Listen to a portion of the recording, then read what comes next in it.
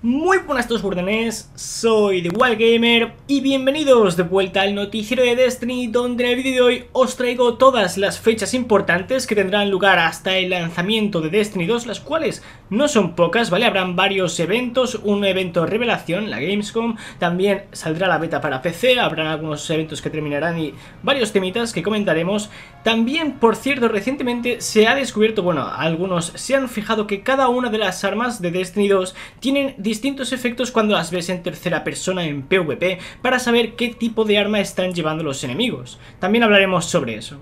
Pero para empezar las fechas que son lo importante. Primero tenemos la del 1 de agosto, en el que comenzará el último estandarte de hierro de Destiny 1.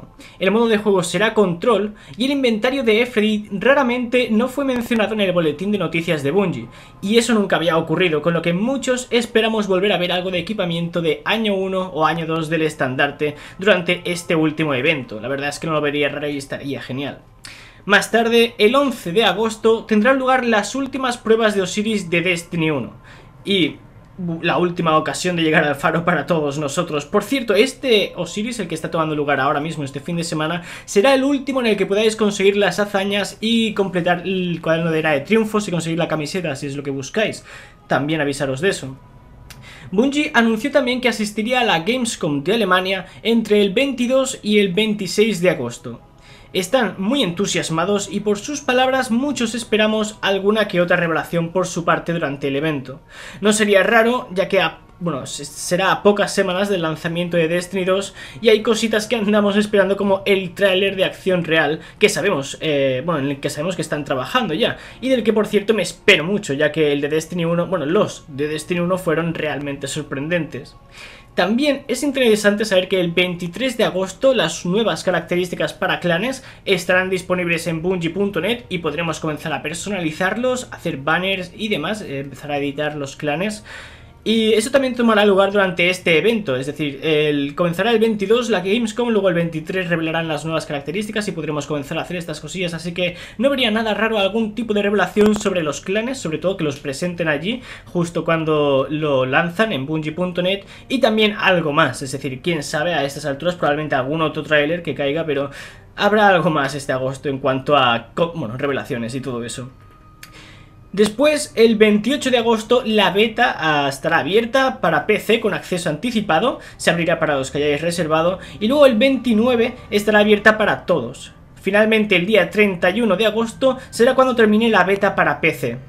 Oh, y como no, luego, 7 días después, el 6 de septiembre, será cuando Destiny 2 sea lanzado para consolas, así que tenemos un buen mes de agosto que disfrutar también para... Os recomendaría, por cierto, ¿por qué no? Echar algunas partidas de Destiny 1 en cuanto a las primeras misiones de historia, algo de nostalgia ahí, bueno, pero es una simple recomendación que os lanzo por ahí, ya que estamos a un solo mes de darle a Destiny 2 y probablemente dejar Destiny 1 apartado, al menos durante un tiempo mientras estemos con Destiny 2, pero pues eso en cuanto a los efectos de las armas que os estaba comentando. Como veis en esta imagen podemos ver los efectos que tienen las armas vistas en tercera persona en PvP. Esto nos ayuda a saber qué tipo de armamento está llevando el equipo contrario, los enemigos. Y la verdad es que es muy interesante fijarse en esto porque probablemente lo habréis visto y quizás, bueno, habéis pensado en ello, pero no os habéis fijado que cada una de las armas tiene su propio color para poder identificarlas. Como veis arriba a la izquierda podéis ver las escopetas con el brillo blanco que tienen, casi parece una linterna Abajo podéis ver el francotirador con el clásico brillo rojo. También abajo podéis ver que las granadas ahora salen resaltadas en rojo, además del iconito que te dice que tienes una granada cerca. Después podéis ver ah, bueno, las dos imágenes de arriba, como el lanzacohetes se ilumina con el brillo ese naranja.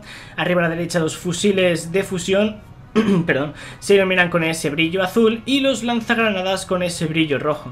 Al menos estas son las que se han identificado de momento y es una buena manera, como os digo, de identificar qué tipo de armas están llevando los enemigos. Al menos en cuanto a armas de poder, ¿vale? No, creo que las otras, las normales, no tenían ningún tipo de efecto, ¿vale? Que recuerde ahora, porque ya hace unos días de la beta.